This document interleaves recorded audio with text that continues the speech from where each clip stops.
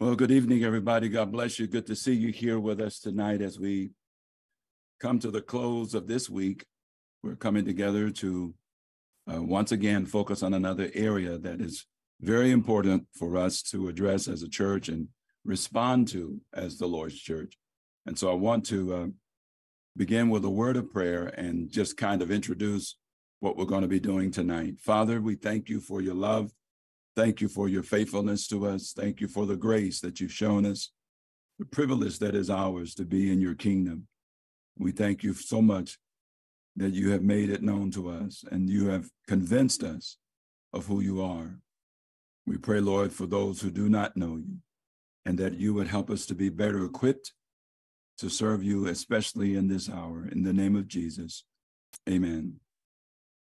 Well, tonight I felt led of God to present um, a video uh, presentation with uh, Dr. Ken Ham, I believe he is. He's a man of God who actually built a couple of facilities uh, in, I think it's Ohio and Kentucky. They're right there on the borderline of those two states. Had the privilege to take my um, family and grandchildren there a year or two ago. One is called the Creation Museum, and the other one is called Noah's Ark. They actually did the research and built it uh, according to what the dimensions were as, as best they could uh, from the Bible. And so he is he travels all over the country in different parts of the world. He's originally from Australia, so you hear his accent.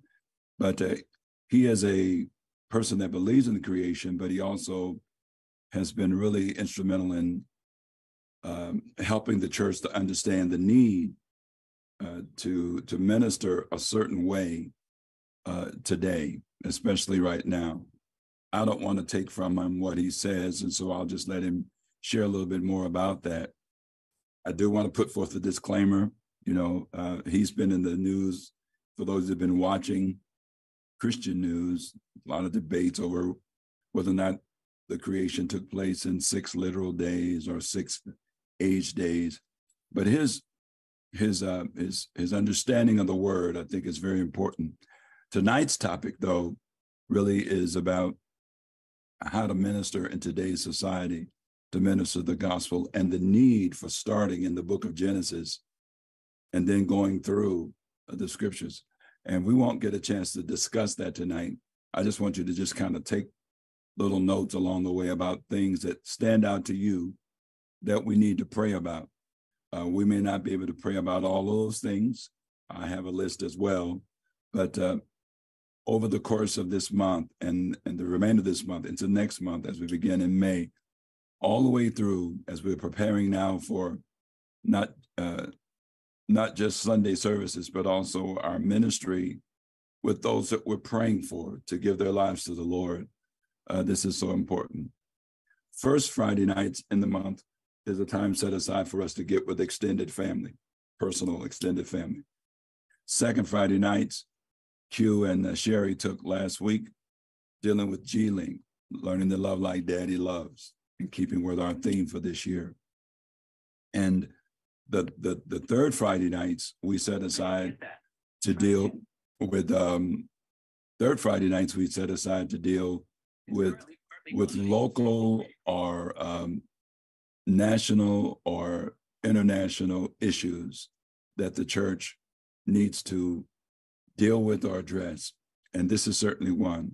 Normally, this would be, you know, just reserved for teaching in the in the summer, but uh, I just sense that we need to deal with it now, um, and we're not just focusing only on quote evangelism, but understanding the world in which we live today, so that we can as the Bible says, be wise as serpents and yet harmless as doves.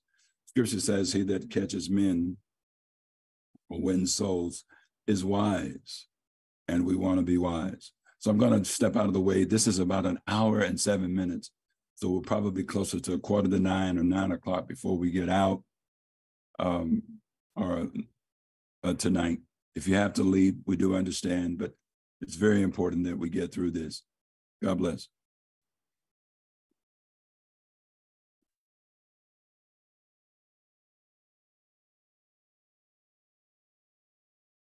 Today, I'm doing a presentation based on this new book that um, we, we brought out about a month ago called Gospel Reset. And it's really about how to present the gospel in a secularized culture. Many people recognize that we, we aren't reaching the culture like we used to. We're not impacting the culture in our Western world.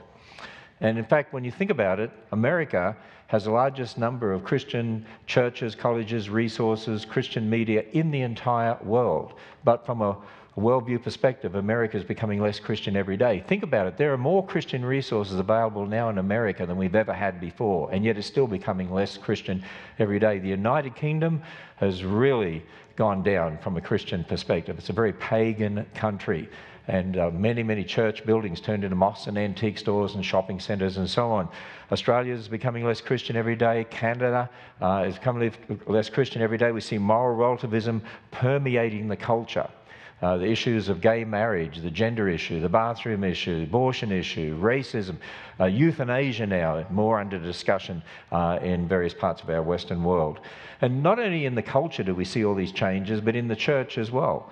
Uh, Two thirds of young people are leaving the church in America by the time they reach college age, and very few are returning. Actually, the same sort of thing is happening through the whole Western world. It's already happened uh, in the United Kingdom, but certainly happening in a big way in America. And so we did research with America's Research Group back in uh, 2009, we published the research in a book called Already Gone. That's had a great impact on a lot of churches uh, in our Western world because many, many pastors said that book really challenged them to change the way they were teaching uh, people in their churches and to really emphasize more apologetics and starting with Genesis and building a Christian worldview uh, founded in Genesis. And that's really what the, the research showed is that when the 20s generation who no longer go to church, who used to go to church, uh, when they were asked, why did you leave church? A lot of it came down to the fact they weren't taught apologetics. They weren't taught an answer to the secular questions of our age. They,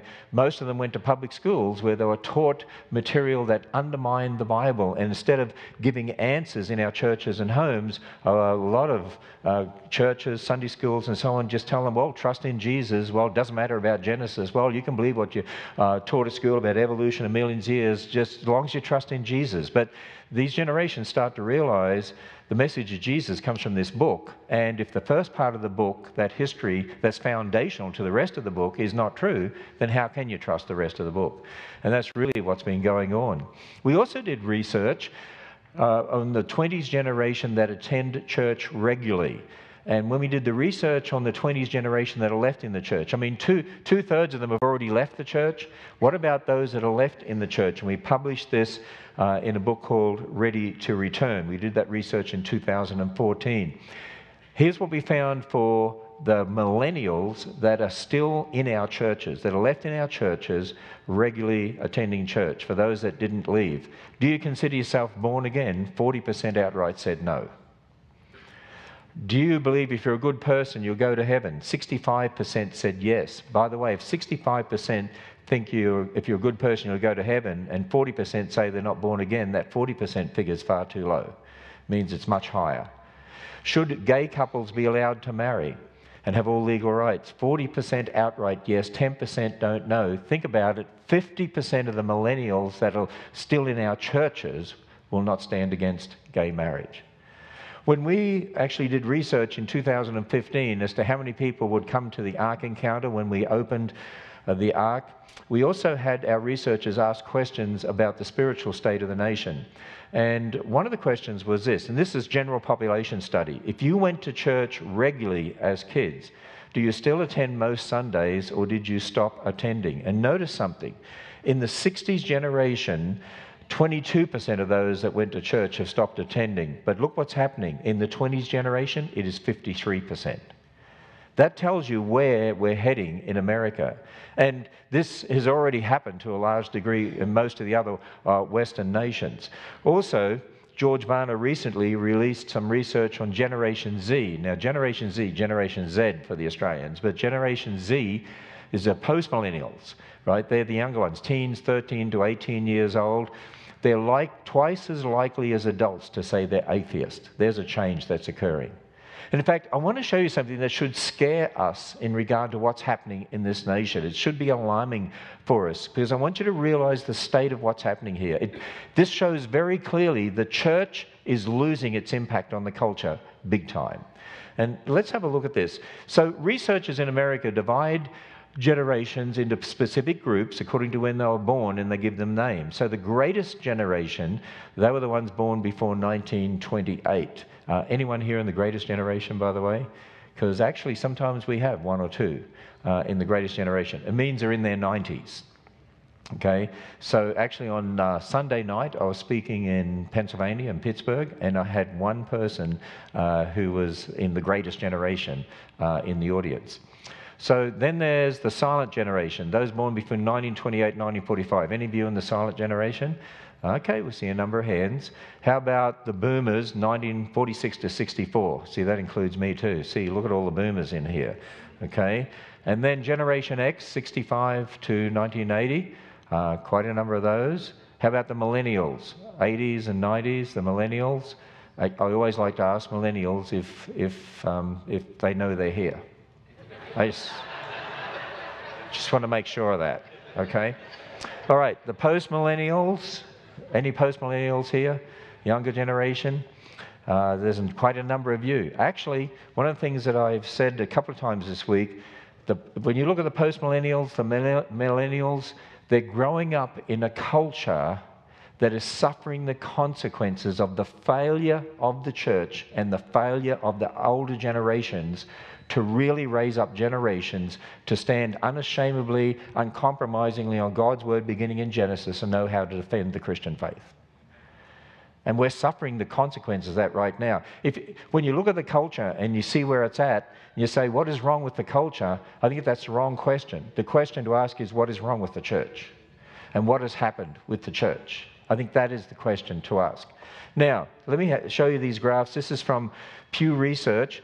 And uh, this was done in 2010, so it excludes the Generation Z, but they're really uh, worse than any of these anyway. So, attendance at religious services by generation, percent saying they attend several times a week, every week, or nearly every week. Have a look at this. This is in America. In the greatest generation, 56% went to church. The silent generation, 40% of them go to church. Boomers, 32%. Generation X, 27%. The millennials, 18%, and Generation Z are under that. Keep in mind that as these here become the dominant group in the culture, what does that tell you about where the church is at in America? And people, if you want to look in England today, back before the last war, about 50% or more attended church. Today's down to less than 5 or 6%. And in fact, the number of churches uh, in, uh, in England has declined dramatically. Church buildings everywhere that are turned into all sorts of things. That's where America is heading. We're on the same track. We may be 20 years behind, but hey, Generation Z, millennials, you can help turn it around. And that's what I, I want to talk to us about today. It's interesting, you know, one of the things I've seen when you, when you see what's happening in the church, a lot of churches one of the things I've noticed in responding to this is saying, well, how, how, are we going to, how, how, are we going to make an impact? And one of the trends I noticed, see, I travel a lot. I've spoken in churches all across America. I've spoken in all 50 states. I've spoken throughout the world. I've spoken in Western nations and all sorts of other nations as well. But you know what I've noticed in this day and age? See, I see the trends. I go to these churches, I see the trends. And it's, well, to, to try to get people to church and enthusiasm, there's been an emphasis on music and, and, and watering down the teaching of the word. And one of the things I've noticed, I'm not against music, by the way, I love good music. But one of the things I've noticed is that music has become the dominant feature in church and not the teaching of the word. And I, I see that all across the Western world. And in fact, it's interesting because Lifeway did some research recently and they asked people the top reasons they would consider changing churches. And there was a, a number of these that were given here. But notice something changing its doctrine, 54% said that's why they would change a church, but music style, 5%. And it's interesting how we think that, oh, music is, is got to be the thing these days. And, um, you know, it's a, a lot of churches I go to, I mean, even to set up my computer, I got to get there at two in the morning to beat the praise team. Uh, because they will practice all the way up to when the service starts, and oh, you're just a speaker. I have that problem all the time. Uh, so let's go and have a look at another graph here from the Pew Research Center, which is a secular group. And views of homosexuality by generation, percent saying same sexual relations are always wrong. In the greatest generation, 78% said they were always wrong. Silent, 70%. Boomers, 56%. Generation X, 47%. Millennials, 43%. And I know Generation Z is much less than that. People, what does that tell you about where the state of the church is going to be? We're, just, we're seeing more and more churches like the Episcopal Church, the United Methodist Church, who, who are saying it's okay to, to have uh, gay pastors and, and uh, gay marriage and all the rest of it.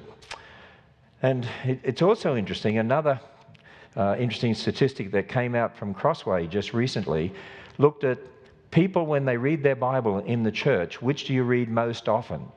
And which do you find hardest to understand? Notice something. What, what do people in the church read most often? Well, it's uh, down here, and you see uh, what they're reading most often uh, is uh, Romans to Revelation, Matthew, Acts. What are they le- reading least often? Uh, the Old Testament, and certainly Genesis is least read. It's interesting how people have this focus on the Gospels and the end, not the beginning. And people, that's exactly what I want to tell you is What's happened is much of the church has ignored the beginning, said Genesis doesn't matter, don't know what to do with it, it's too hard. Many pastors have said you can believe in evolution millions of years. Most of our Christian academics say that anyway. And so they hive off Genesis and say, let's just tell them about Jesus. But once you have lost that foundation for the rest of the Bible, then you find the structure collapses. And that's what I want to talk about in regard to evangelism, because I want to show you the trends because we know the culture has changed. But the gospel hasn't changed. And the answer, of course, when I ask people, what should we do? And they say, well, the answer is to go into all the world and proclaim the gospel. That's true. That's true. But when Billy Graham, who really, uh, you know, was a man that presented the gospel all around the world, when he passed away recently, he was the headline in Yahoo News. There'll never be another Billy Graham because the world that made him possible is gone. The secular world recognizes our world has changed. And Tucker Carlson uh, said this about Billy Graham on Fox News. The great evangelist Billy Graham died today. He was 99 years old. There are a lot of remarkable things about Graham's life, but maybe the most striking is this. Within living memory, a fairly Orthodox Christian became a national celebrity in this country. Graham ministered to presidents and actors and captains of industry, all of whom were proud to talk to him in public. Graham didn't become rich and famous by promoting self-actualization or selling real estate advice or staging walks over hot coals.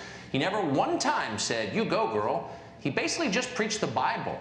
In the America of the time, that was enough. People stopped him on the street to shake his hand. We live in a different country now. We live in a different country now. And we do. We live in a different country. When Billy Graham came to Australia in 1959, I was a little boy, my father said, the Bible says man is coming to Australia. He was known for saying, The Bible says you're a sinner, repent of your sin. The Bible says. Here's the problem. When you say the Bible says today, there are generations that say, But that's a book of mythology. We know science has disproved it. We learn at school you can't trust it. And so when you said the Bible says generations ago, then people had a respect for the Bible. You say the Bible says today, and they're saying, we, we don't listen to that stuff. That's an outdated book. It's a book of mythology. 1 Corinthians 1.23, we read this. We preach Christ crucified to the Jews a stumbling block and to the Greeks foolishness. It's interesting, in the Bible, in Acts 2, Peter takes the gospel to the Jews. In Acts 17, Paul takes the gospel to the Greeks. Two totally different responses. And what I'm going to say to you and what I want to walk through here today is this. Generations ago, our culture was like an Acts 2 culture, like the Jews, but it's become an Acts 17 culture, like the Greeks. And the problem is, most of the churches approach our culture as if it's Acts 2. It's not. It's Acts 17 increasingly. And if we don't wake up to that fact, we're going to not be effective in reaching people with the message of the gospel. See, I've got an idea for a revolution. I got a radical idea. This, this, this idea is so radical it's going to blow you off your seats. I'm going to tell you this idea, and you're going to sit there and say, How did he even think of that? It is so radical. You ready for it? Here's my radical idea, okay? How about we start sharing the gospel the way God does it in the Bible by starting at the beginning? What an awesome concept. You would never have thought of that, would you? I mean, start at the beginning.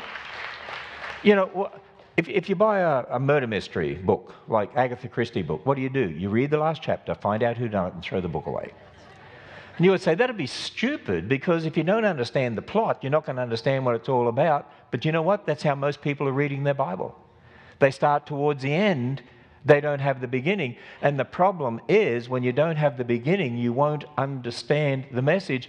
And as I've already said in one of the sessions this week, Genesis 1 to 11 is foundational to all our doctrines, it's foundational to the gospel.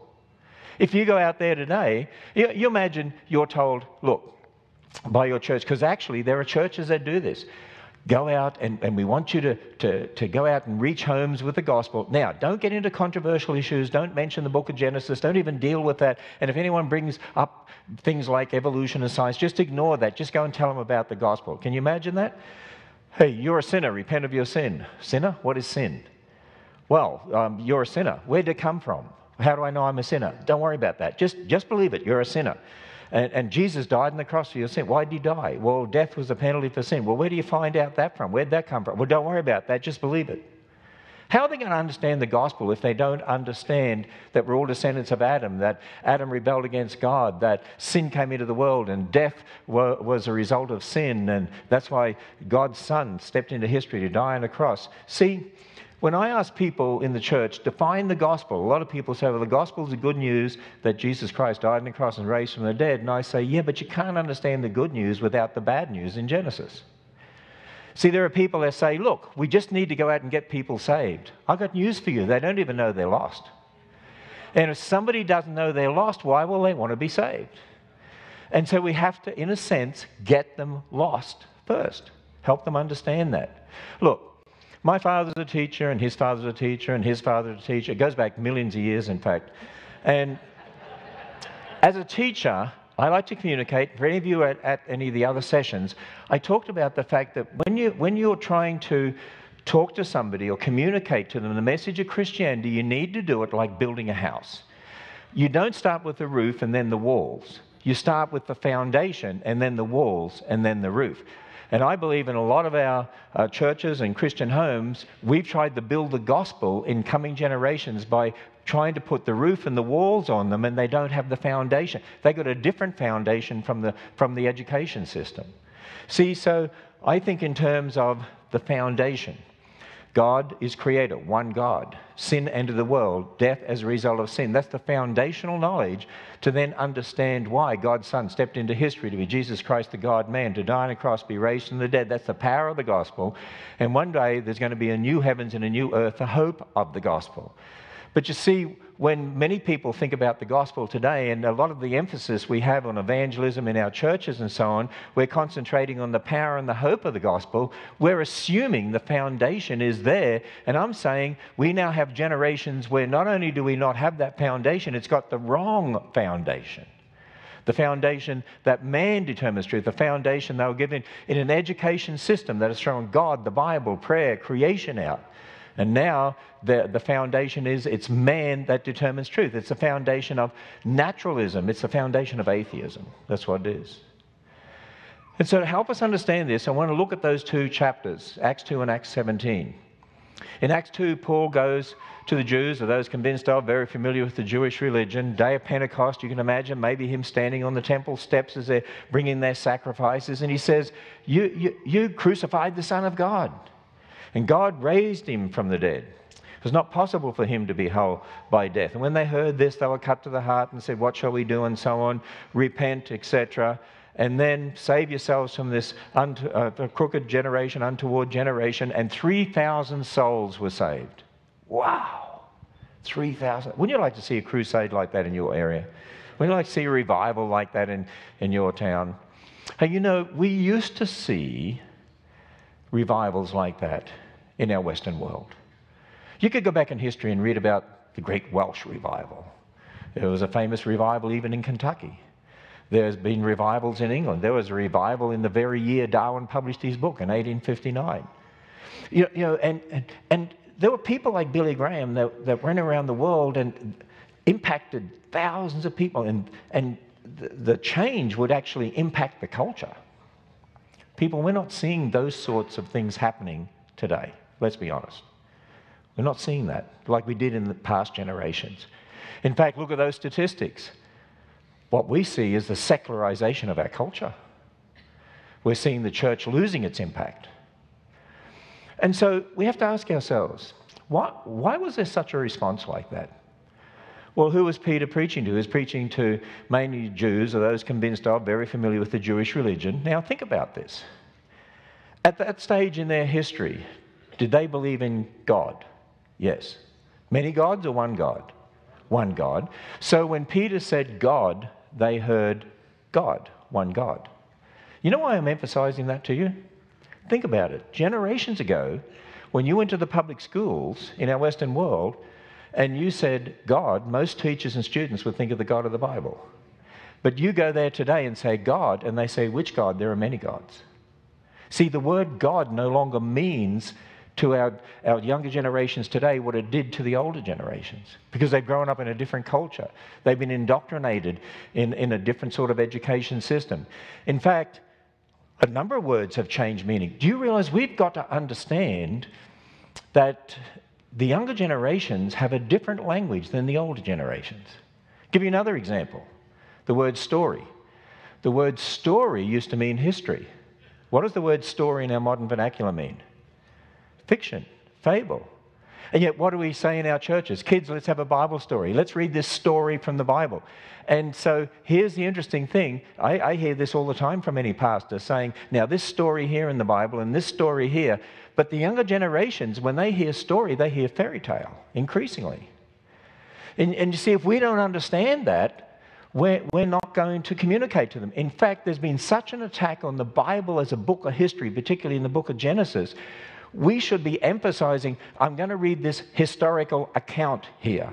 I'm going to read this account of history, this record of history. We've got to actually emphasize the Bible's a book of history because that's what's come under attack. I mentioned yesterday when we talked about the race issue, the word race has changed meaning. The word race used to mean an ethnic group, cultural group, the, the English race, the Irish race, what, whatever the word race now, because of the influence of evolution, people tend to think of lower races and higher races and primitive races and advanced races. And, and, and because of that, they also think there are separate races. And as I said, no, we're all one race. We all go back to Adam and Eve. Many words like that have changed meaning. And that trouble is, many people in our churches are using the same terminology from, that we used in past generations with the younger generations, but they don't understand it or hear it the same way. You see, Peter could assume that they understood the terms, they had the same language, but what, who, what was their stumbling block? That Jesus Christ was the Messiah. Remember, the preaching of the cross was a stumbling block to the Jews. Now, to the Greeks, it was something different. It was foolishness. But to, but to the Jews, it was a stumbling block. The Jews were a creation based culture who understood the terms, but their stumbling block was the message of the Messiah. See, we, we need to understand the Jews had the writings of Moses, they knew about the promise of the Messiah. They had that foundational history. They rejected that Jesus was the Messiah. Now, let me give you a, an analogy here. When my wife and I moved to America in 1987, that seems like a long time ago, doesn't it? Uh, so we moved over here as missionaries to a pagan culture, and America is becoming a pagan culture. But I thought it'd be real easy to fit in over here because I thought, oh, you know what? At least we don't have to go to language school like you do in some places and learn a different language. You know what I found out? I thought Americans speak English. You don't speak English. Americans speak American English. It's a form of English, right? I spoke Australian English, two different languages. I now speak Australian English, American English, English English, uh, and, and, so I, I, speak a number of different English languages. Right? So, give, give you an example. So, we moved to California, which is a different country anyway, but uh, when we first came over here, and I had a problem, and I said to somebody, Could you help me because my battery's flat? And they said, Your battery's what? My battery's flat. Did you run over it? well, no, I left the lights on. Oh, your battery's dead. Dead? Wasn't alive. It can't die. And I, I, I, started to realize wait a minute, you people use the same words to mean different things. You say dead battery, we say flat battery. All right? And, and th- there are other ones too, like, oh, I need to put petrol in the car. Every place I went to had gas. How, how do I find petrol? You, you people want, you have gas cars. Anyway, some of you get that, some of you don't, but that's okay. And so I had to learn that gas is petrol, it's just, it's not gas. I, I studied biology, I studied science at school. Solid, liquid, gas, you know? Anyway, and, and then there's the embarrassing ones, like, well, I was on the phone and we had a little baby at the time, and somebody said to me, What are you doing? I said, I'm nursing our baby. and you hear this silence on the end of the phone, and then this exclamation, You're doing what? I'm nursing our baby. Why? That's what I thought you said. And so I realized something was wrong. So I did some research and found out, much to my embarrassment, nursing a baby in America is different to nursing a baby in Australia. When you say nursing a baby in Australia, you're saying, I'm holding a baby. So I said to this person, I'm holding a baby. I found out that person heard me say, I'm breastfeeding our baby. I thought, oh dear. Maybe this person thought, thought we Australian males had some onward, upward evolutionary mutational change of some sort, the advanced species of man. And yet, you know, you need to understand this because there are animal parks in Australia that will say to you, Would you like to nurse a koala? which could conjure up some horrible images unless you understand that means, Would you like to hold a koala? And so what I'm saying to us is, hey, people, just coming from Australia to America, and I recognize, hey, I had to learn that different words mean different things, you know, or same words mean different things in different contexts. We have to understand it's even much greater between the older generations and the younger generations. And we've got to come to grips with that. See, the Jews had the right beginning, the right foundation, the right history. As I said in one of the other presentations, as we say here at the Creation Museum, ultimately there's only two foundations, ultimately only two religions. It's all the way through Scripture light and darkness, build your house on the rock, build your house on the sand, good and evil, for Christ, against, gather, scatter. It starts in Genesis with trust God, don't eat the fruit from the tree, or did God really say you can become like God? It was a battle between God's word and man's word. And ultimately, that's the same battle going on before us today. It's a battle between two religions. The Jews had the right foundation, the right starting point of God's word. Their stumbling block was the message of the cross. It's interesting, when Billy Graham came to Australia in 1959 and again in the 60s, it's been said that that was the closest Australia ever came to revival. Australia has never had uh, true revival. In fact, it's a pretty pagan country right now, probably uh, sort of statistics like England, about 5% uh, or so would go to church. But Australia inherited the British system. And so, in, in, when, in days when I, was a, when I was a kid, when I went to elementary school, when Billy Graham first came to Australia, for instance, at that stage in our history, do you know, teachers had to read through the Bible in the public school to the students? It was mandatory. And in fact, when I was a high school student, I, I, remember being on parade. Most of the kids did not go to church, but we recited the Lord's Prayer before we went into school. Now, today, teachers don't read through the Bible in school in Australia. There's no Lord's Prayer on, on assembly or anything. In fact, it's just like America. They've thrown basically God, Bible, prayer, creation out of the public school system. But here's what I want us to understand is this when Billy Graham first came to Australia, I would say Australia was much more an Acts 2 type culture. Because if you said Jesus, they understood, oh, yes, in, in, the Bible. God, one God. Sin, oh, yeah, the Bible talks about sin. Adam and Eve, they sinned. We're descendants of Adam and Eve. The babe in a manger.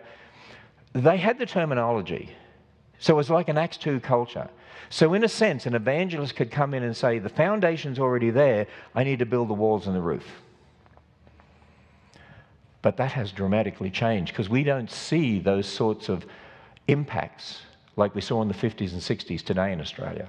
In fact, Australia, like Canada, like the United Kingdom, and increasingly like America, we see the culture has changed and the generations have changed, and the church is not having the impact it once had. You know, the secularists understand this. I think in the church, people recognize something's happened, but I think it's the secularists who understand what has happened. Back in 2010, Secular Humanist magazine, Free Inquiry, we read this A historic transition is occurring, barely noticed, slowly, quietly, imperceptibly. Religion, when they say religion, they usually mean Christianity. Uh, is shriveling in America as it already has in Europe, Canada, Australia, across the developed world. Increasingly, supernatural faith belongs to the third world. The first world is entering the long predicted secular age where science and knowledge dominate. A change has occurred. The secularists understand the change. You know why I think most of our churches don't really understand the change? Because they helped it happen. Because when we told generations of kids, you can believe in evolution and millions of years and Genesis doesn't matter, and we avoided Genesis, we're helping the atheists drag our kids away from the church, from Christianity. Now, that's a pretty serious accusation, but I believe it is true. When we compromise God's word, we're helping the atheists. And we handed generations of our kids over to the secular education system anyway. And then we said, you can believe whatever they teach you doesn't matter. Come to Sunday school and we'll have a Bible story. And we teach all these Bible stories, Jonah the great fish feeding the 5,000 and so on.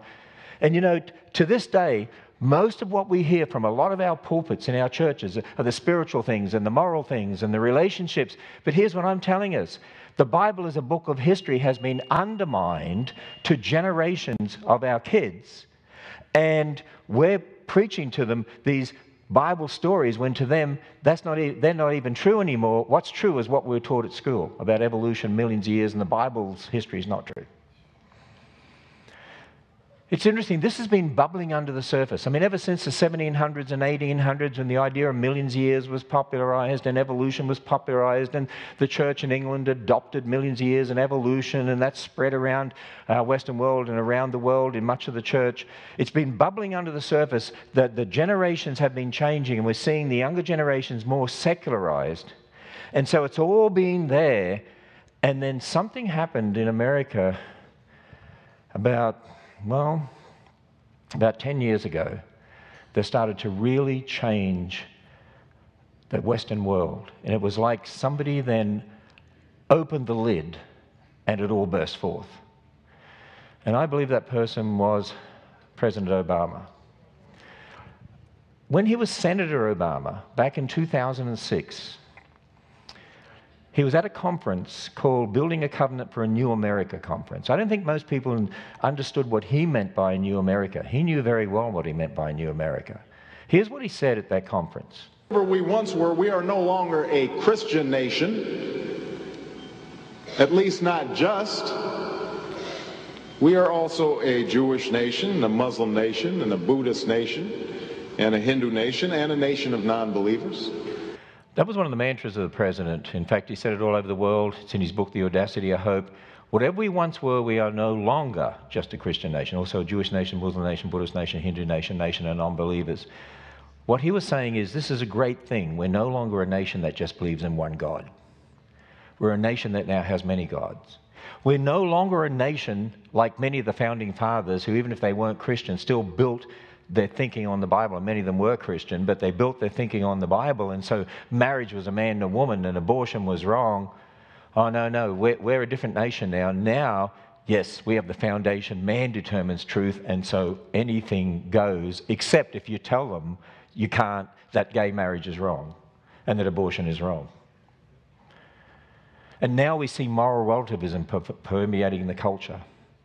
In fact, you could describe it as it's described in Judges 21 25. In those days, there was no king in Israel. Everyone did what is right in his own eyes. You want to know what's happened to the Western world? It's very simple. I'll paraphrase it for you. when you raise up generations and say the Bible is not the absolute authority of the Word of God and man determines truth, then anything goes. And that's exactly how it is in our culture. It's interesting, back in 2009, the front page of Newsweek said the decline and fall of Christian America. And inside there was an article called The End of Christian America. And there was one sentence that really stood out to me. And we could say the end of Christianized West world, the Western world, if we want, because it really applies to Australia, Canada, any of our Western world. And here's the sentence that stood out to me The present, in this sense, is less about the death of God and more about the birth of many gods. Instead of one God, now there are many gods. And that's why we want to look at an Acts 17 culture, because this is what I believe our West has become. And increasingly, this is what America has become. Really, this describes most of our millennials and Generation Z, because this is where they're at. See, Paul comes to Mars Hill, Athens, to the Greek culture. And here it's really the center, the intellectual center of, of the Greek culture, of the, of the world, in a sense. And there were altars and temples and many gods, and there were idols, and there were atheists, and there were pantheists. I mean, it was everything. And it's described in Acts 17:8, where Paul is speaking to the Epicureans, the atheists. Atheism is a religion. It, it, they, they have a blind faith belief that everything happened by natural processes. That's their faith. The Stoics, pantheists, basically the universe is God. And then the others that were there and all the different beliefs they had. And so what did Paul do? He preached the same message Peter preached in Acts 2, the message of the resurrection. And what happened? What's this babbler saying? It was foolishness to them. Remember, the preaching of the cross was a stumbling block to the Jews, but to the Greeks, foolishness. So we have to ask ourselves okay, well, why the difference here? Well, who is Paul preaching to? Well, Greeks um, th- th- that believed in evolution. They believed the gods evolved. They believed we evolved from the earth. Greeks that had no concept of a creator God, the Jews understood. So you say God to the Greeks, it's, well, there are many gods. Sin, they had no idea because they didn't have the writings of Moses. They didn't, they didn't believe in Adam and Eve and the fall of man. Uh, they didn't understand the sacrificial system, which actually was started in Genesis when God made coats of skins for Adam and Eve. They didn't understand the promise of the Messiah in Genesis 3:15. They had a totally different foundation. And so when Paul preaches the message of the resurrection, it's foolishness to them. See, the Greeks had no understanding of the foundational knowledge the Jews did. They didn't understand the terms. They didn't understand at all, so they didn't understand the message of the resurrection. They were an evolution based culture that didn't understand the terms, and so the preaching of the cross was foolishness. Many years ago, I went to Japan for the first time, and before I spoke over there, my Japanese translator sat down with me and he said, You realize in Japan, there's no Christian basis to speak of. I mean, evolution is taught as fact in the schools and universities, just like America. But Shinto is the major religion, also Buddhism. And Shinto, they have many gods. And so here's a problem. If, if, if, you use the Bible as your basis of authority and then you tell them uh, that you want to, want to talk about God, I mean, immediately they're going to think, oh, another God with all our thousands of gods. And he said to me, What I'm going to have to do is when you use the word God, I need to define who God is, that He's the one God, the creator God, the God who made everything. If you use the word sin, I have to define what sin is. In fact, you're going to have to start at the beginning, define all your terms, or they're not going to understand the message. You see, it reminded me of New Tribes Mission. New Tribes Mission found when they went to a pagan culture, some isolated tribe in New Guinea or Papua Indonesia or somewhere, and they preached the message of the cross, they thought they had all these responses till they found out as they delved into it that those people didn't understand the gospel at all. They just did what they thought the missionaries wanted them to do. And what New Tribes Mission realized was they don't understand the gospel truly. So they, they said, we'll have to develop a different way of doing this. And they developed a chronological approach to Bible teaching Sort of like what God does in the Bible by starting at the beginning. Why do you think the book of Genesis is at the beginning? Why do you think God put it there? At the beginning. And it means beginning because it's the foundation of the rest. And when they did that and started there and they went through and then got to the message of the cross, then they found there was an incredible response and they understood. Hey, people, you know what?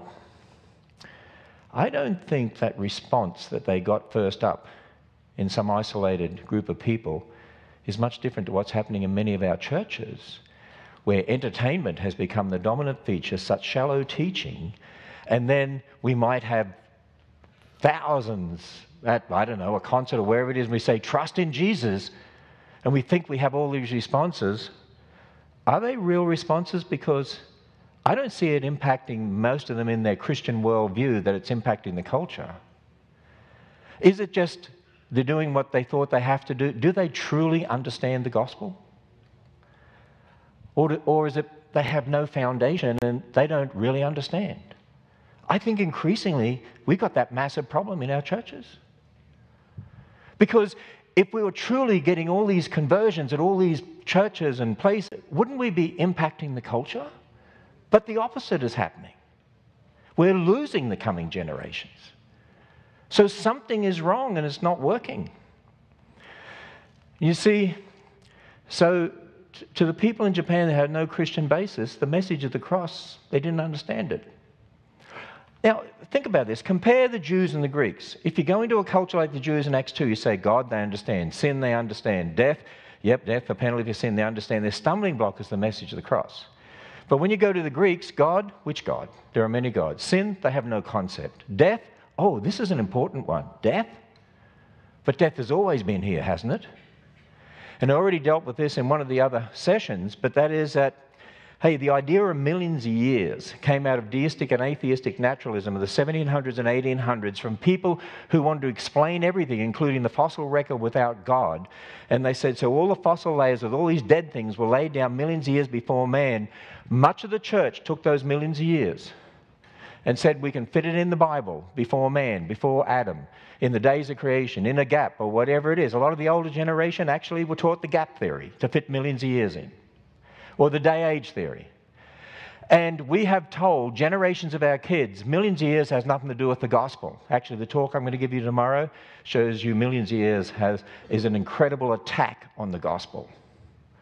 I'm going to show you why. And basically, it's because it means you're blaming God for death and suffering. The Bible blames our sin for death and suffering. God stepped into history to pay the penalty for death to save us from what we did. And you see, here's the problem. Today, the, the, the, millennials, Generation Z, one of their big hang ups with Christianity is how can you believe in a loving God and all the death and suffering in the world? In fact, many of the leading atheists in America, when you delve into it, many of them grew up in church homes and they are in such rebellion against God and they're angry at God. And when you actually talk to them, I tell you what comes up over and over again issues like something happened in their life, someone died, someone suffered a horrible disease, or someone was abused, and they're angry at God. But I believe it's a failure of the church because we didn't teach them that, wait a minute, our sin and Adam brought death into the world. God stepped into history to save us from what we did. You see, we told them you can believe in millions of years, and to them, how can there be a loving God? All the death and suffering and disease you see today has gone on for millions of years. But the Bible says death is a penalty for sin. We forfeited our right to live when we rebelled against God. We don't even deserve to exist. But God, in His grace and mercy, think about this. Why is it, as far as we know, there's no salvation for the angels? Why is it that God, in His grace and mercy, looked down upon man when we rebelled and said, But I have a plan to save you? You're going to have to die. Your bodies will die because you forfeit your right to live, but you have a soul that's made forever, and I want to save you. I'm going to step into history and pay that penalty for that sin. Why, why do you do that for us?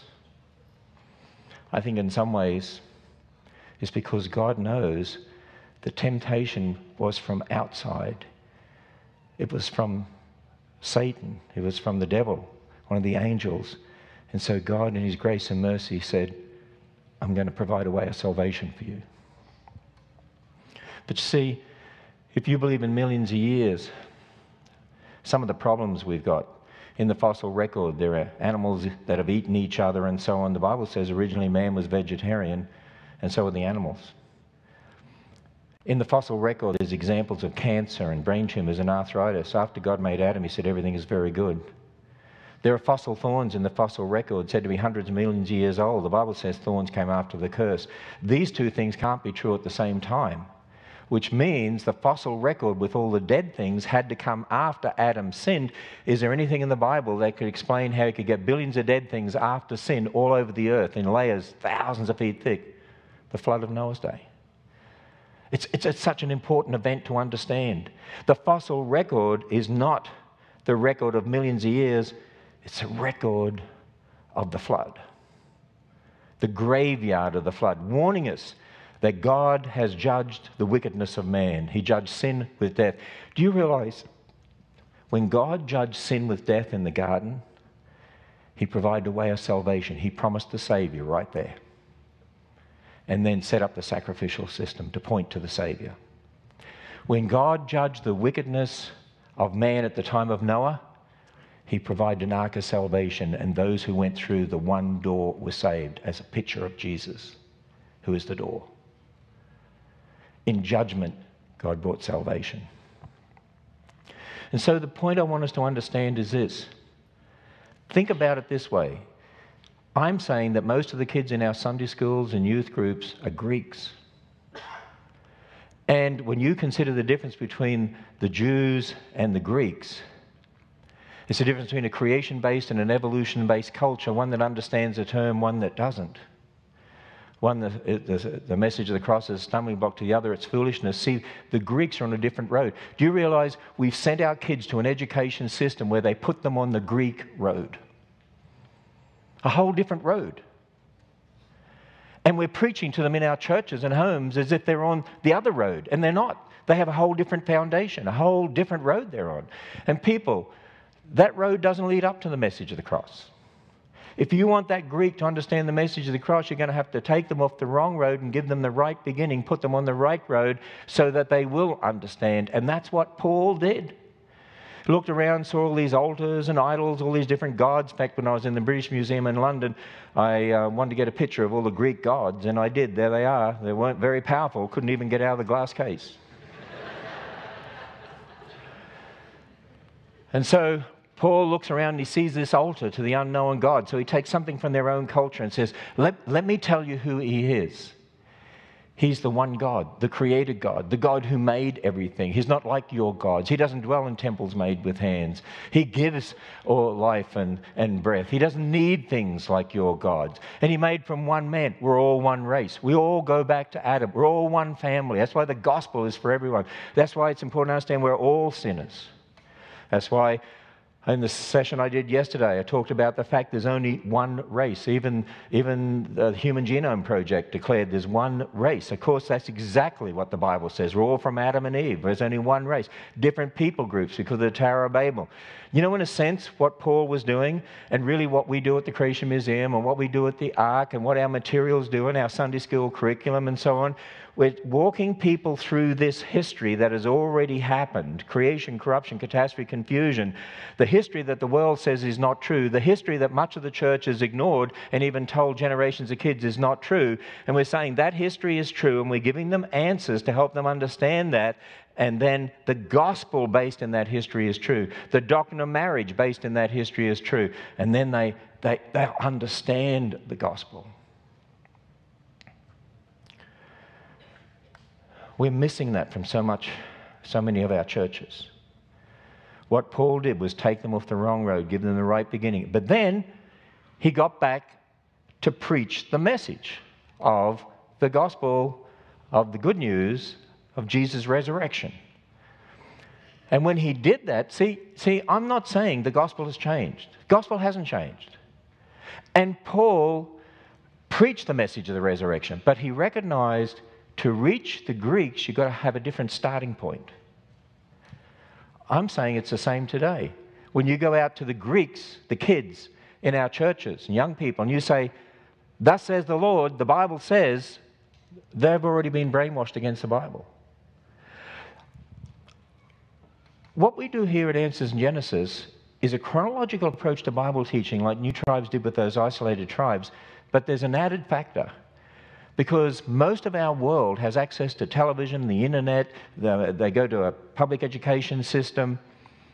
And so they've been so indoctrinated against the Bible and toward evolution a million years as fact that not only do we need to start chronologically from the beginning, but we've really got to start at a point to help them understand what this book is.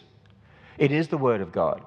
You don't believe it? Why? What are your questions? Let me give you the answers. Let me help you understand this is what it claims to be so that we can start at the beginning.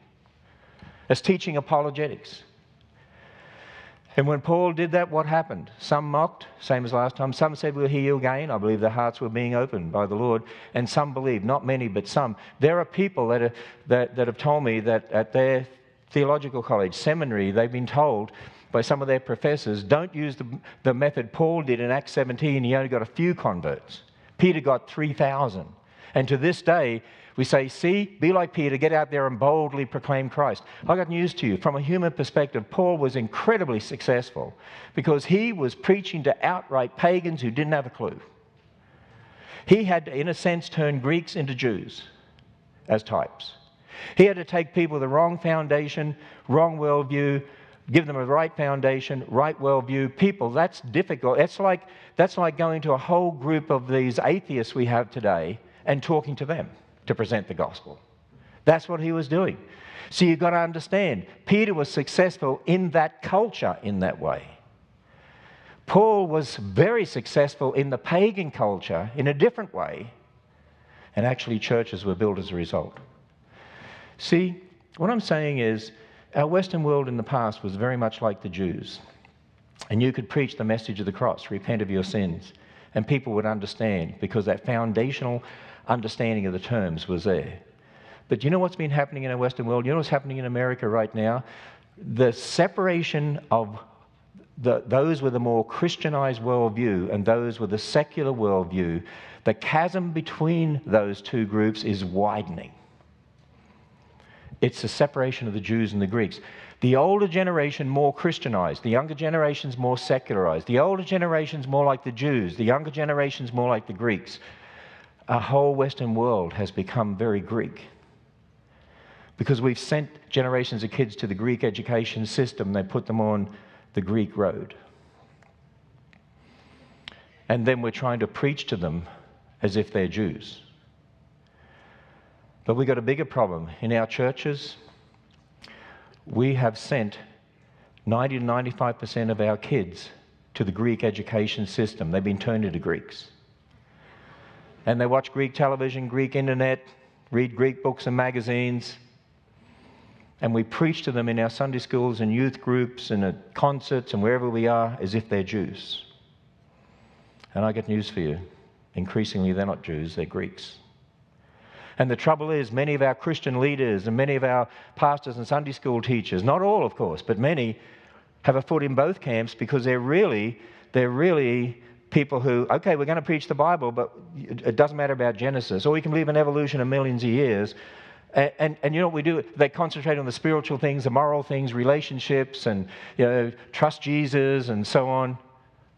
But, but we're preaching to Greeks who, who, who don't even have the foundation. And, and you know, we, we get these supposed conversions these days, but do they have a Christian worldview? Do they know what it means to have a Christian worldview? Do they really understand that the Bible is the foundation of their worldview and it starts with Genesis 1 to 11?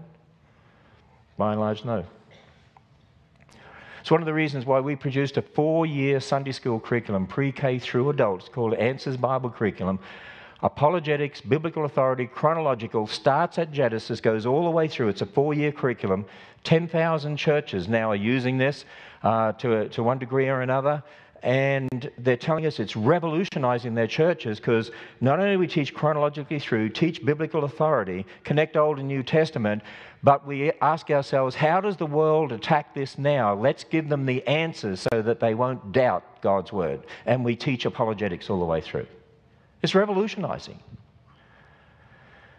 You see, we've got to understand we're all Greek to one degree or another. The whole world is Greek. Look, I go to conservative churches and I'll speak, and people come up to me and say, I've been a a, a, Christian for 40 years and so on, but I've always struggled with dinosaurs or how did Noah get the animals on the ark or what about the gap theory, other days of creation, ordinary days. Do you know why we ask those questions? Because we've been influenced by the Greeks. And because a lot of our, our theological colleges, seminaries, Bible colleges, the majority of them, they're really Greek colleges. Because they tell generations of pastors, you don't believe, believe Genesis, you can believe in millions of years. The majority of our Christian academics believe in millions of years. Because it's a big pride issue for them. Because they want to be academic, academically respectable to the world. And you see, so what the Creation Museum, the Ark Encounter, our Sunday school curriculum and so on is all about is to take Christian Greeks, you know what I mean by them, and secular Greeks, and to take them and turn them into Jews as types. There's a term for it. It's called de Greekizing. Now, you might say, I've never seen the word de Greekizing. Well, what is that on the screen? right? I made it up. I like that word, de Greekizing. Because really, what I'm doing this week with all the sessions that I'm doing, um, and, and, what we do at the Creation Museum and the Ark, we're de Greekizing your thinking. When you go to the Ark, and for instance, on the, on the second deck, and you'll see the exhibits about kinds, we're helping you understand. A kind in the Bible is not like species that we have today. It's more like the family level of classification. Helps us answer the question how did Noah get all those animals on the ark? He didn't need near the number we think. We help you understand speciation is a result of processes acting on the genetic diversity God has already put in there. And it can happen quickly. So, so we're giving you answers. And, when you're on the third deck, we're, we're showing you how layers like the Grand Canyon had to be formed quickly. And, and according to evolutionists, there's millions of years missing between certain layers, but they were never there. That's a whole thing. And, and, and, then we'll answer other questions about fossilization and the ice age, catastrophically formed as a result of the flood. And we're giving you these answers, that, and, and people go through and they say, I never knew that before. Wow, that answers that. Wow, isn't that fascinating? And, and we talk about one race, and we all go back to Adam and Eve, and we deal with those issues. We're teaching apologetics to de Greekize the church and the culture. And you know what that does too when we do that? And we're telling you here's the right road, the right foundation. We see people and we hear of people who are saved right here in the Creation Museum and in the Ark Encounter and later on and through the books and through the website. When you're down at the Ark Encounter, I know some of you have already been there, but when you're down there on the third deck, we have a movie on the second deck, uh, which is Noah uh, being interviewed by a tabloid newspaper in the pre flood uh, world before as he's building the ark. And uh, then we have on the third deck the same actors in the movie, but now they're coming to the ark in Kentucky. And you know what, um, what, we're, what we're doing there with uh, those particular videos is helping people understand the gospel and in the one on the third deck, we have Ray Comfort preaching the gospel there. And people have already been de Greekized as they go through the ark. And as one man who saw one of our staff in the gift store said, Brought my family here, my son in law wasn't a Christian, but after he watched that movie on the third deck, he prayed to receive Christ as Savior. And he said, I've just got an ordinary, an ordinary testimony. I, I, I grew up in the church and committed my life to Christ and so on, but my son in law was saved in the ark. but you know what? That's what it's all about. And that's what we want to challenge you to do is to go out and de Greekize. In fact, I'm going to suggest to us we need to de Greekize our own thinking. We need to be de Greekizing our children's thinking. We need to de Greekize our Sunday school uh, group. We need to de Greekize the adults in our churches. We need to de Greekize our youth group, our neighbors, de Greekizing them, helping them understand the Bible is true, and to help them understand the gospel. And one of the things you'll notice about the Creation Museum and the Ark, and people claim that if we did this, we wouldn't get all these people coming. And that is, we are unashamed of the gospel. There is no point in building an Ark or Creation Museum if we're not going to present the gospel. You know what? God has blessed that and honored that. 30% of those who come to the Ark are non Christian and they hear the gospel. There's no, what's the point of having an intellectual argument about creation or geology if you're not leading people to Christ? That's what our ministry is all about. And, and one of the things that we wanted to do was this look, the church is not impacting the culture like it did, and, and, and people aren't being impacted with the message of the gospel, they don't understand it. Let's do something that can impact the culture and reach them where they're at and give them answers so they will be impacted and hear and understand the gospel. Well, I could go on for millions of years, and tomorrow I'm going to talk about millions of years, okay, and the days of creation. But just before we dismiss, if I can uh, have you just uh, stay quiet just for two minutes. Um, we have a ministry called Answers in Genesis that actually built the Creation Museum and also built the Ark. And you can go to our website, answersingenesis.org, and thousands of articles. We have a kids' website. We have all sorts of different websites. I encourage you to use that. Uh, as you came in, you would have received a form like this. If you fill it out and become on our list to find out about the Ark, the Creation Museum, all the newest things, latest things, latest resources, and so on, uh, we'll give you a free DVD of my testimony. Uh, we have these pocket guides that are normally $6 each. We give them to you for $2 each. They're great little witnessing tools because I'll answer various questions people have, and they're very short and uh, beautifully produced. Uh, this is also a great witnessing tool, and it's one of my favorites. My son in law and I, Bodie, put this together. And I've always wanted to have an evangelistic book like this. So it has Genesis 1 to 11, which is the foundational history, Exodus 20, the law, the book of John, the life of Christ, the book of Romans, which really is the gospel in detail. Last two chapters are Revelation, new heavens and new earth. So it has those passages that explain the gospel from beginning to end. And then in between, it's got a summary of the rest of the Bible. So it's like a whole overview of the Bible. Then it's got a little bit of apologetics, 10 of the most asked questions with short answers to help you understand that we can answer those questions. The Bible is true, and then what it means to be saved. And we let you have that for a very uh, inexpensive price. We also have a You Choose program where you can put together different combinations of books and DVDs for discounted prices. Uh, my book, The Lie, that is the de Greekizing tool for the church. It's really, other than the Bible, the textbook of our ministry to challenge the church to believe God's word beginning in Genesis, how important Genesis 1 to 11 is, how foundational it is to the rest of the Bible. This is the brand new book that came out, which really is the message I gave you today. I put it in book form so people can understand it and they can get it out uh, to, to people. I'll let you into a little secret here. We had someone recently call us who. Um, actually uh, heard one of my messages at church. A pastor played a DVD of mine. And the person called us and said, We have got to impact the church.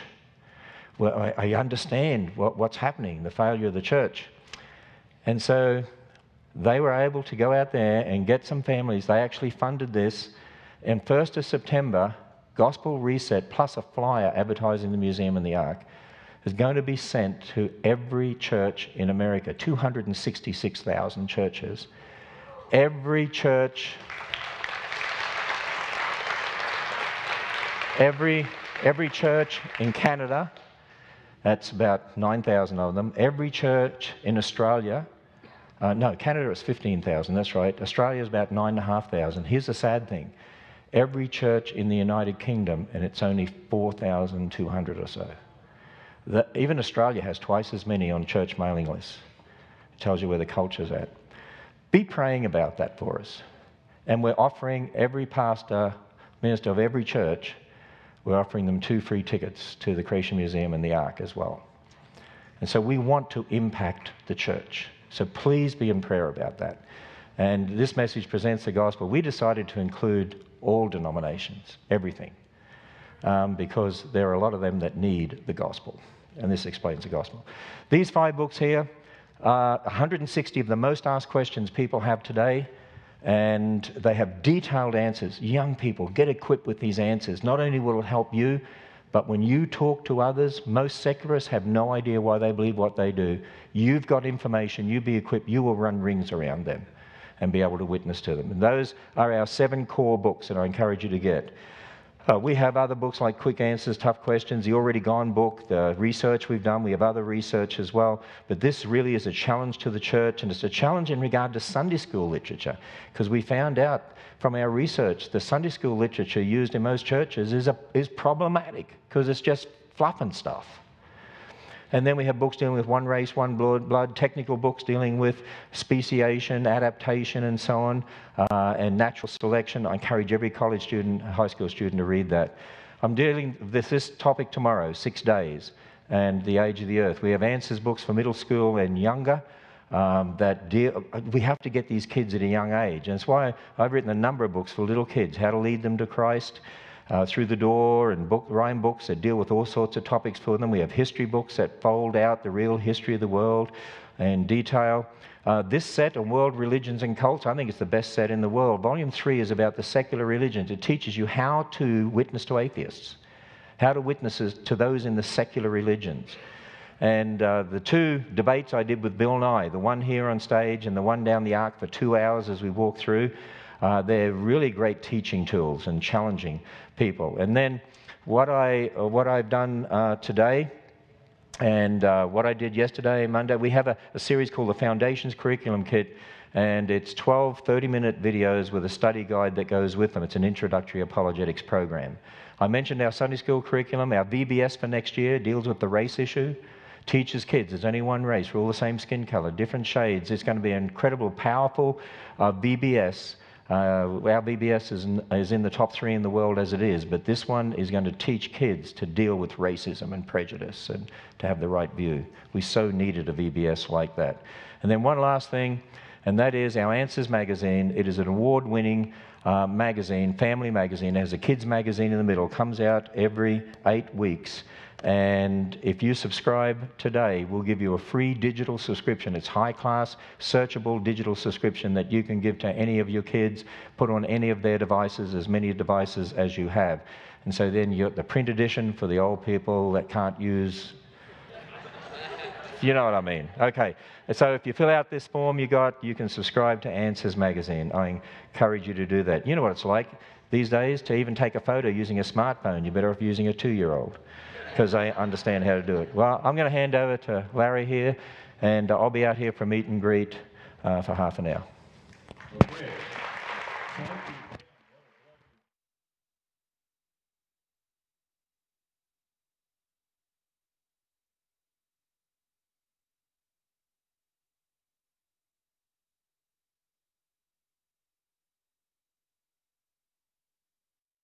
Well, I know that this is kind of loaded tonight, and I thank you for sticking it out. Many of you I know have busy, busy schedules. In my heart, as you can, as you probably can imagine, um, I'm exploding inside. This is what I've been trying to do for a number of years, and I know that it's really great. We had an opportunity, as I mentioned to some of you earlier from the outset, to actually go to the Creation Museum and also to walk through the ark uh, that's been at least a model of it and he's right there's a lot of a lot of research that's there. So much has been done to really help um, the people who walk through christians and people who aren't christian really understand the narrative that god has left us in the word. Genesis is a narrative it's narrative history. Um, his account god's account of the origin of the universes, of all the galaxies, of uh, of humankind, um, the reason why we are where we are and why we're like we are. You only get that from uh, the God who created the Bible or had it written for us and the one who created the universe. This is really a, a steep challenge, but it is certainly possible for those of us who are believers. Uh, we could talk about economic problems, we can talk about political problems, we can talk about so many social problems in our world, and we would really be right to do that. But tonight I felt like God really wanted me to uh, release this film or this video really early, months early, uh, so that we can um, really kind of begin to understand that all of those problems stem from the, the fruit of another one. and they're the fruit of humankind not really being in right relationship with our creator the one and only true living being who has created everything and did not create us without purpose created us with purpose that's in his own heart for us i believe that if we will allow the lord to help us with this we can truly uh, we can truly be a blessing, especially in our in our time and in our season. And we can help the next generation be more prepared for what God wants to do through them. And so I want to pray tonight about three or four things that just in my heart as we were praying um, that we would really truly see um, the reality of what this brother just just said that we're living in a world whether they realize it or not and whether we realize it or not that has been heavily influenced by not only intellectual thoughts and ideas that came out of the greek culture but also some very profound spiritual ones. And while there are many who consider themselves atheists or agnostic they still hold to a lot of these views and values. And so obviously we cannot beat people up or gun them down to make them change or even see the need to change. Only, only God can do that. And so um, what I want to do is just pray first about this with, with the church that we would see this not as a fad, not as just a get um, Christians, get people saved quick scheme, but that we would really understand that this is the world that we are dealing with. The Bible tells us not to know one another merely after the natural. And when Paul wrote that, he was really writing to the church and telling us how to deal with each other as believers. But we can apply that principle to the world. We, we must know them by the Spirit, where they are spiritually, where they are intellectually, and uh, and not to oversimplify it, you know, and say, well, it's just the devil. Well, that's true, it is the devil, but they don't see it as the devil, and they see they see us calling them the devil, but not understanding that we mean they're being influenced by a mindset by an understanding that comes from the devil. And uh, so let's just pray about that tonight. And then there are a couple more things I'm going to come back and pray about, and then we're going to going to dismiss. And there's several I'm sure that you can take with you as well uh, over the course of the, the remainder of this year. Let's pray. Father, we thank you for the work that you inspired this man and this team to do now all of these years. Uh, we we thank you for their faithfulness. Thank you, Lord, for them really putting in the time and the research to help us to see that you do use science to communicate your truth. And we thank you, Lord, that as a as students of yours, walking through this world of the scientific and the research that the, and the archaeological and all that they've done, that you are causing your truth, your narrative to be affirmed and confirmed over and over again. I pray, Lord, that in Metro, where there where there are blocks to this, or where there's just kind of a uh, ignorance about it, or even about the need for it, that you would speak to us and that you would deal with our hearts, Lord, and help us to understand the role that we have in this particular strategy of ministering to people who are really truly caught um, caught up in another whole set of beliefs about the world and the universe and about uh, humankind I pray, Lord, that uh, especially for those who may feel like it really doesn't make any difference. This is not how Black people think or how my people think or how city people think or how white people think or whatever. Lord, I just pray in the name of Jesus that you'd help us to really see what you have, what you've shown this brother, and we pray that our hearts would uh, be prepared. Help me as a leader, others who are part of this congregation who can also be instrumental in helping to equip uh, Metro in this way. Help us to do it well. In the name of Jesus. Thank you, Lord. Amen.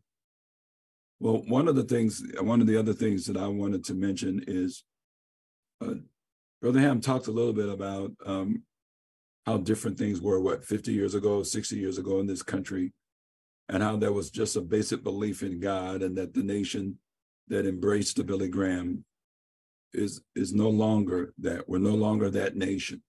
And and that's true.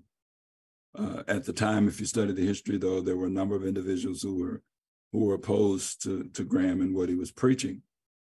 But it is true, there were a number of people that believed Patty Hearst's father, William Randolph Hearst, was in the newspaper business and um, he he heard Graham and overnight he put his name out there through all of his his influence and as some say the rest is history.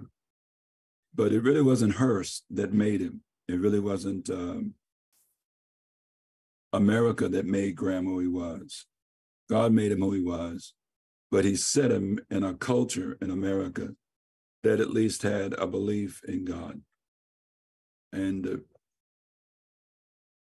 yet I want to, I want to, while I thank God for that, I also want to pray about something that I have seen over the decades, and that is that even though there were many people that believed in the existence of God, there were many from from the silent generation, the boomers, that's my group, and and and on, who did not believe in God.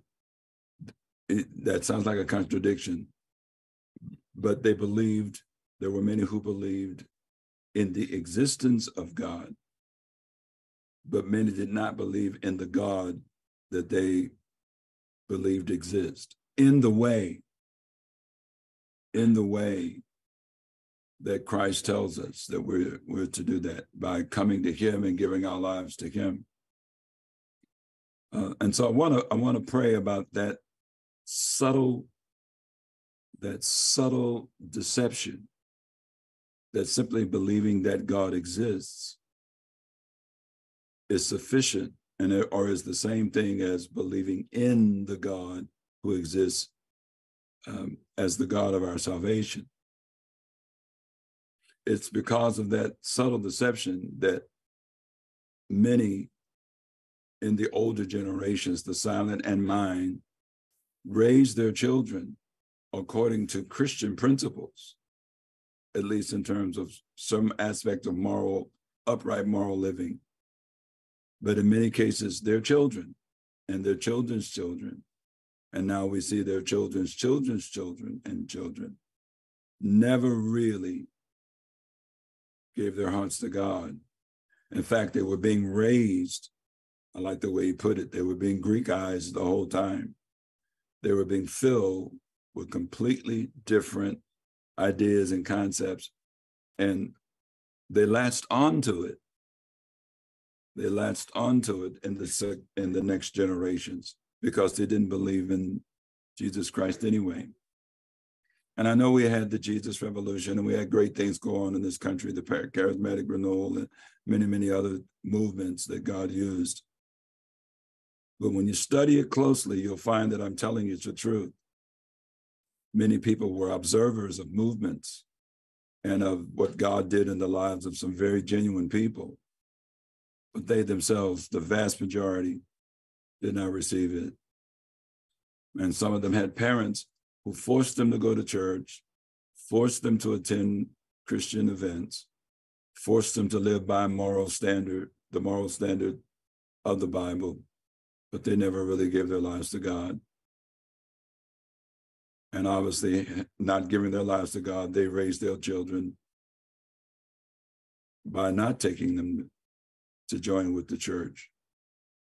And they raised their children to believe that it was really okay to explore and to choose other options because actually what they had been given had been rammed down their throats was not true.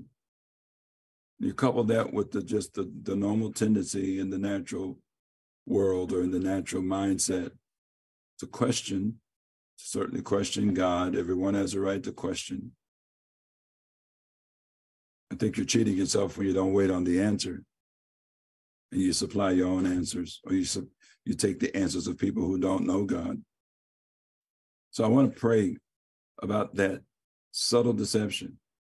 What really happened was instead of really becoming believing disciples, trusting disciples in Christ, the way that God really wanted us to, many, many people became moralists.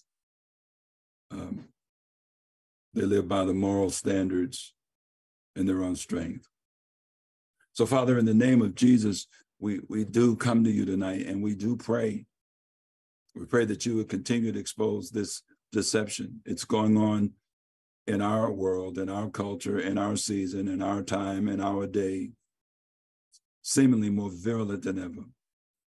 Where there, we, we're now living out the fruit of that deception of simply believing that God exists, like the demons, and never really putting our trust in God. We pray. Here's a third thing I want to pray about. Father, we pray for uh, you to break through and reveal it, like your word says here in Second Corinthians chapter 4, that the light of the glorious gospel would shine all the way through to the conscience, to the conscience. I pray that you would, during this season, would break through all of the emotionalism, even the intellectualism, the God of intellectualism, the God of rationalism, the God of emotionalism, that you would break through it all and that, you would settle our interpretation war, that you would speak. We know that you are. And I pray that even as we're being further equipped, you would help us to partner with you. Here's the final thing I want to pray about tonight, and that is just quoted it from Second Corinthians 4, but there is a dependence on the Holy Spirit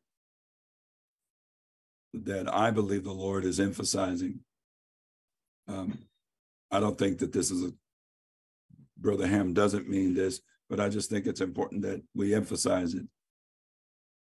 No matter how well fashioned our argument can be, even from the Lord, it can fall on deaf ears. It can fall on and be entered into minds that have already been darkened by by by the enemy already been blinded by the enemy. So much so that even when we're talking, there's a different interpretation of what God means. And so I'm just praying like you tonight. I'm I, am i am praying like like you tonight. That the Lord will show me the ways that I tend to rely upon the power of the argument that he gives me more than I rely on him to drive the argument home and to convince. The, the, the role, the word of God says that the Holy Spirit will, re, the Holy Spirit will reprove the world of sin, of judgment, and of righteousness, not me. The Holy Spirit will convince. That's what the word reprove. It means to prove again and again and again. But the idea is the Holy Spirit will convince the world of the existence of sin, of, of judgment, and of righteousness, the need for it, of God's love, of God's narrative, of God's story, of God's being, of God's essence, uh, of God's truth. So as we close tonight, why, why don't let's let's pray about that. Lord, our culture is steeped in what Brother Ham said man determines truth. And as a result of it, we live our lives literally slaughtering and killing each other, either physically or emotionally or spiritually in some way. And so we pray tonight, God, uh, in the church that you revive in us, maybe for the first time with some of the ones who are newer, the real level of dependence that we need on you to cause the light of the glorious gospel of Jesus as we speak it and the arguments that we bring about creation, about the world, about the universe, uh, about science, about all of these things, Lord. I, I pray that you would give us a word that the enemy cannot refute, that the Spirit of the Lord would break through. Lord, many of us have loved ones who are in these places.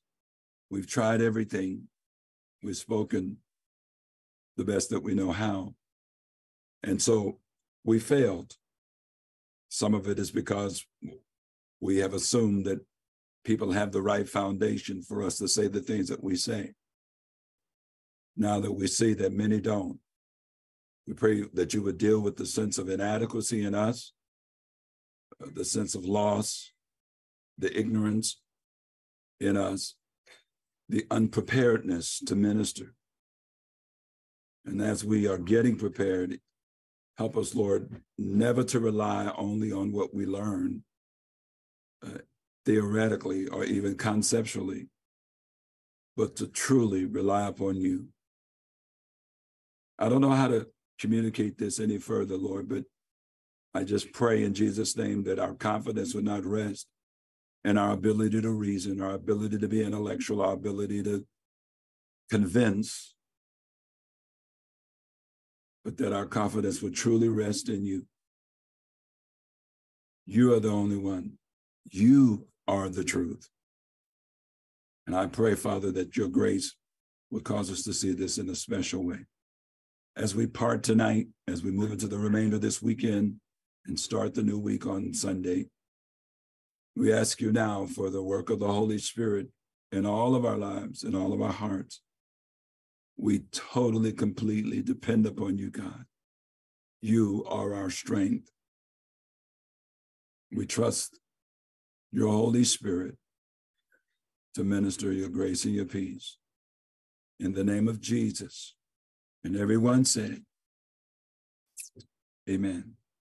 Look forward to seeing you again on Sunday for those that can be there.